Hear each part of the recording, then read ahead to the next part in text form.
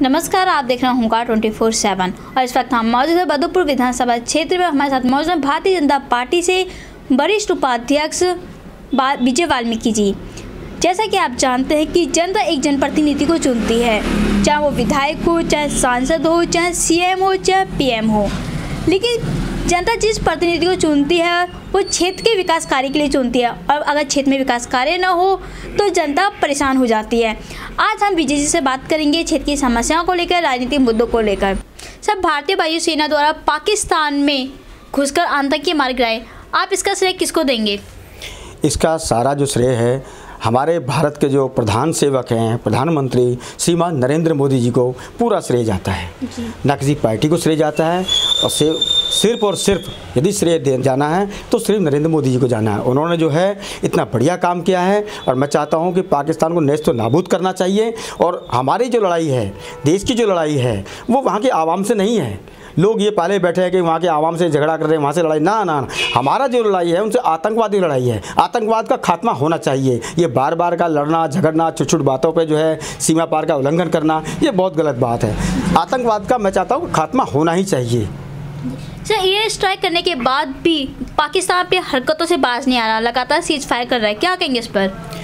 Cease fire करना कोई उसका नया काम नहीं है। सन सैंतालीस से लेकर अब तक, सत्तर, इकहत्तर सालों से सीज फायर ही कर रहा है वो। उसका उल्लंघन कर रहा है। बार बार समझाए जाने पर भी उसके सर में जू नहीं रेंगती है बिल्कुल भी। और तमाम झूठ अभी टीवी चैनल और अन्य टीवी चैनल के माध्यम से आप देख रहे हो कि वो उनके कितने झूठ का पुलिंदा खुलता जा रहा है। कभी कहता है, जी हमने दो हवाई जहाज़ क्रैश कर दिए हैं रहे अपने सैनिक पकड़ लिए हैं, अगले ही पल वो पलट जाते हैं। तो ये गलत बात है। पाकिस्तान की जो है पाकिस्तान को मैं कहूँगा ये बात सत्य साबित होगी कि ये जो है ये बा, ये बातों से नहीं मानने वाले। ये जूतों से मानने वाले। मैं सॉरी मैं जूतों का इस्तेमाल कर रहा हूँ इसलिए क्योंकि इसने बड़ा निंदनीय काम किया है। बड़ा घृणित कार्य किया है इसने जो है। मैं चाहता हूँ कि उसका आत्म उसका खात्मा होना ही चाहिए आतंकवाद का खात्मा होना चाहिए। सर जेडीयू प्रदेश अध्यक्ष दयानंद राय जी की दुआ के नेतृत्व में जेडीयू बदरपुर में पूर्वांचल समाज के लोगों को एकजुट करने में लगी हुई है। क्या कहेंगे इस पर आप? देखो एकजुटता की बात यह है कि, कि लोकसभा चुनाव आ गए हैं। चुनाव के बाद चुनाव के चलते जो है सभी पार्टी कार्यकर्ता सभी पार्टियाँ सक्रिय हो जाती हैं और यहाँ एकत्रित होना बड़ी मुश्किल बात है। क्योंकि जो भी जन जनप्रतिनिधि यहाँ चुनकर आता है पहली बात तो वो काम ही नहीं करता है। है जी और हम लोग जो है जातियों में बटे रहते हैं। तो ये अच्छी बात नहीं है। तो जो ये अपना जो अभियान चला रहे हैं ये इनका अभियान जो कामयाब नहीं हो पाएगा क्योंकि यहाँ जो है जनप्रतिनिधि अपने जो है काम से बचते हैं और क्षेत्र में आना बिल्कुल उनकी गवारा नहीं होता बिल्कुल भी। तो इस तरह जो है इस बार ठीक नहीं है बात। सर जेडीयू पार्टी के मुताबिक बीजेपी बदरपुर में जेडीयू के जनादेश से घबराई हुई है। क्या कहेंगे इस पर? नहीं नहीं नहीं। जेडीयू के जनादेश से वो घबराए हुए नहीं है जबकि जेडीयू का पूरा समर्थन है केंद्र में। और अभी जो लोकसभा में चुनाव होंगे वो जेडीयू और बीजेपी दोनों मिलकर चुनाव लड़ेंगे। तो इससे हमारे घबराने की कैसी बात है? कोई कारण नहीं है। सर, बात करें आम आदमी पार्टी की। लोक लोकसभा चुनाव आते आते केजरीवाल जी उद्घाटन करने में लग गए हैं।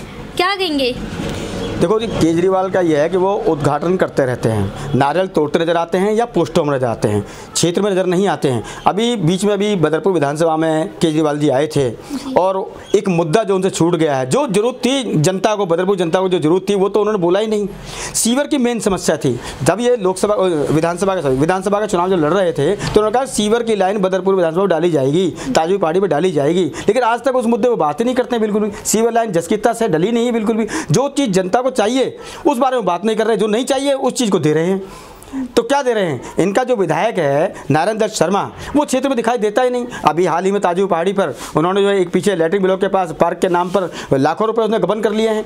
पार्क की बाउंड्री करा दी गई है, घास का एक तिनका नहीं है वहाँ, मिट्टी डलवाई नहीं गई है। मैंने पहले ही कहा था, ये नारियल तोड़ रहे हैं केवल और कुछ नहीं करेंगे। दूसरा, ताजू पहाड़ी का जो बड़ा बारात घर बना हुआ है, वहाँ पर उन्होंने आम आदमी पार्टी क्लिनिक के नाम से, आम आदमी क्लिनिक के नाम से एक जगह उन्होंने कब्जा कर ली है और खुदाई करके जो उसको फर्श डाल दिया है। बिल्डिंग का पता ही नहीं है, कैसे बिल्डिंग बनेगी? मैंने पहले ही कहा उनको कई बार पहले कहा मैंने कहा भाई तो ऐसे काम मत करो गलत काम मत करिए जनता के हित के काम करिए यदि बस के नहीं है आप मना कर दीजिए। तो सर क्या ये कहा जा सकता है कि जो उद्घाटन जो है सिर्फ़ चुनावी स्टंट है? ये सब चुनावी स्टंट है। उद्घाटन ये सिर्फ़ नारियल तोड़ रहे हैं और कुछ नहीं कर रहे हैं जनता का कोई भला नहीं कर रहे हैं और मैं चाहता हूँ ऐसे जनप्रतिनिधि को अपने जो है इस्तीफा दे देना चाहिए त्यागपत्र दे देना चाहिए उन्हें कह देना हाथ जोड़ लेना चाहिए गलती से मैं चुन गया हूँ और आगे से मैं चुनाव नहीं लड़ूँगा।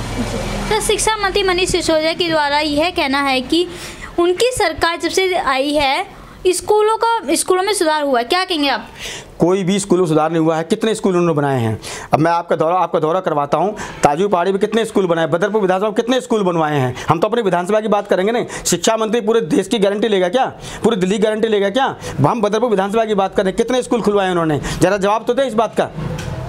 सर आपका बहुत बहुत धन्यवाद। आपने हुंकार ट्वेंटी फोर सेवन को अपना कीमती टाइम दिया।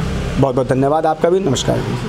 जैसा कि आपने देखा कि हमने विजय वाल्मीकि जी से बदोपुर विधानसभा क्षेत्र की समस्याओं को लेकर, राजनीतिक मुद्दों को लेकर बात की तो उनका यही कहना है कि बदोपुर के विधायक नादा शर्मा ने यहाँ पर कोई भी विकास कार्य नहीं किया। विकास कार्य के नाम पर लोगों को सिर्फ़ गुमराह किया है और अब जो उद्घाटन किए जा रहा है, ये भी सिर्फ़ एक चुनावी स्टंट है।